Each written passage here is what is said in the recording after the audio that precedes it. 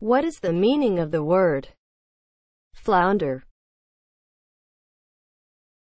As a noun, flesh of any of various American and European flatfish, any of various European and non-European marine flatfish.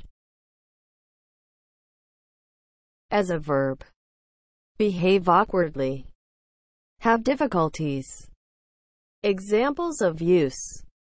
She is floundering in college. Flounder is spelled F L O U N D E R. Flounder